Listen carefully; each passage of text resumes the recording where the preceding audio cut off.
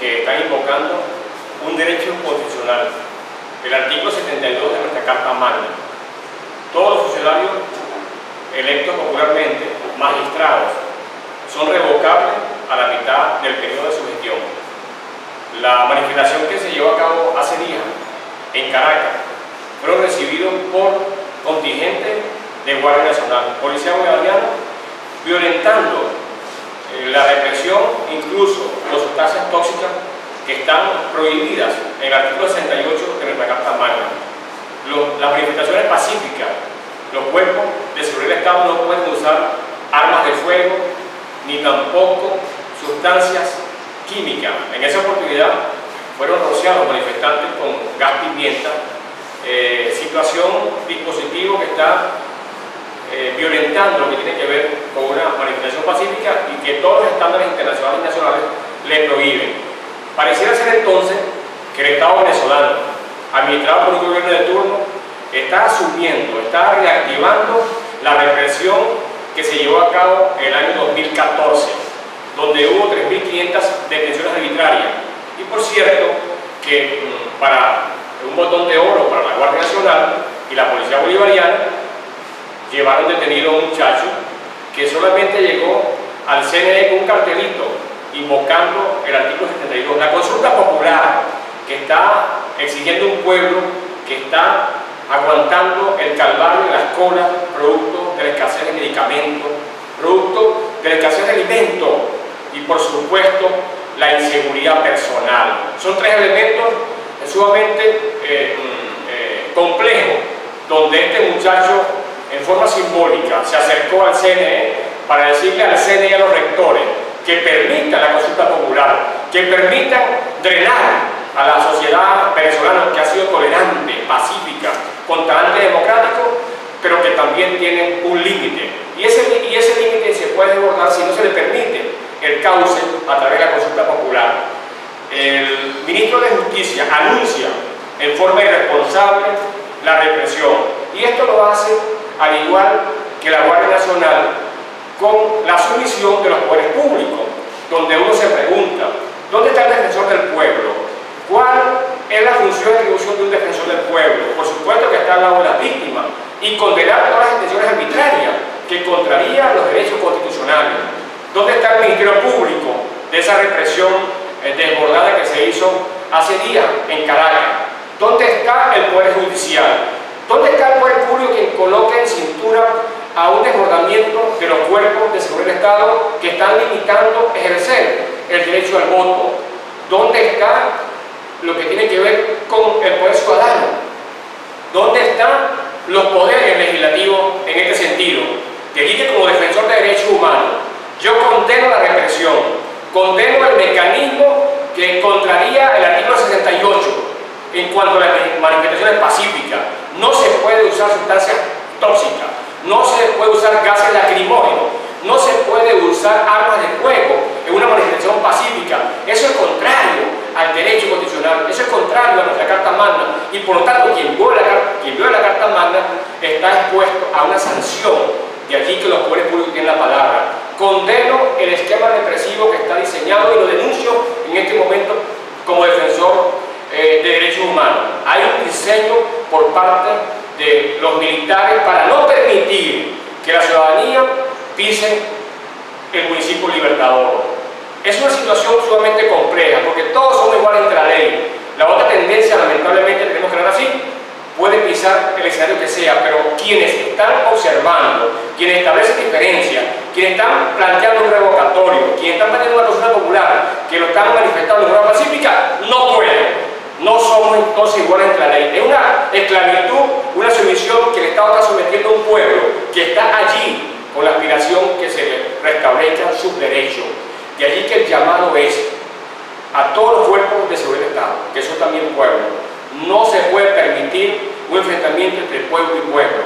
Los efectivos de los, de los bajos mandos de la Guardia Nacional, los tenientes, los coroneles, todos los suboficiales también están pasando un calvario. De allí que deben asumir nuestra carta magna, deben asumir lo que tiene que ver la obediencia reflexiva. Si alguien por encima de él, en la parte de su jerarquía, le envía una orden para que reprima manifestaciones, le digo a los respectivos militares que los crímenes no prescriben y que después entonces tendrán que pasar por tribunales, por fiscalía, para que responda por el abuso de poder, por el abuso en cuanto a las armas de fuego, sustancias tóxicas, que contraría los estándares nacionales e internacionales. Y por supuesto, el Ministerio Público, garante la legalidad del debido proceso. Esas detenciones arbitrarias no se pueden permitir. Esa detención de este muchacho no se tenía que permitir, había que actuar inmediatamente. El defensor del pueblo tiene que definir o soy un dirigente político o soy un activista de derechos humanos con la figura de la defensoría del pueblo. O soy un defensor con atribuciones de, la velar, de con las garantías constitucionales o soy un activista sometido a la sumisión de un partido político. De allí que si no puede con el cargo, usted y yo que nos conocemos, debe abandonarlo porque lamentablemente los cuerpos de seguridad Estado van a seguir reprimiendo, van a seguir obstaculizando porque no se permite que el pueblo se exprese violentando la soberanía popular que reside en el pueblo.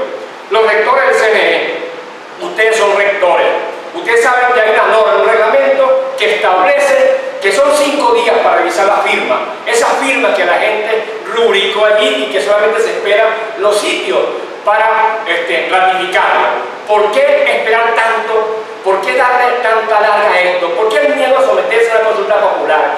¿Qué es lo que sostiene un sistema democrático? ¿Qué es la voluntad popular que sostiene un mecanismo cuando hay problemas en un país, donde hay un balance de gestión, donde la gestión de un gobierno ha sido mala y que la gente quiere expresarse, la gente quiere comunicarse a través del voto, que es el poder más importante un sistema democrático. No permita que ese pueblo se desborde, porque después vamos a lamentar lo que pasó el 27 de febrero, que todavía el Estado nunca ha indemnizado a las víctimas, lo que pasó en el 2014, donde hubo 50 tratos crueles, inhumanos y tortura, donde hubo 43 homicidios que todavía ni el Ministerio Público ni el Policía han sancionado a los victimarios. Ciudadano rector, asuma su atribución, defina el mecanismo para que permita que este pueblo se desahogue y que este pueblo que nos ha dado mucha madurez en cuanto a la decisión del voto popular, la consulta popular nos está enseñando que no quiere violencia, efectivos militares, ministro de la defensa, ministro de justicia, también son venezolanos, permitan al pueblo expresarse, manifestar por la calle de Caracas, en forma pacífica, ¿por qué no debe expresarse un pueblo? ¿Por qué no debe acudir un pueblo a una consulta popular? ¿Por qué se le restringe, se le obstaculiza? con la represión más fácil, con la represión de los gases tóxicos, con las armas de fuego. ¿Por qué no se debe reflexionar? Yo creo que el llamado es a todos los venezolanos, que busquemos un mecanismo de unidad, de concertación, para que se le permita a este pueblo ejercer lo que tiene que ver con el artículo 72.